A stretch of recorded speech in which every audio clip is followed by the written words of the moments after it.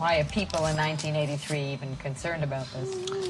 Well, I don't know. I think I've done I've done many albums in my lifetime. And, uh, some have been good, some have been bad. Some have given people much inspiration. And uh, some have inspired people sexually, some have, have inspired people spiritually. I, the thing that's important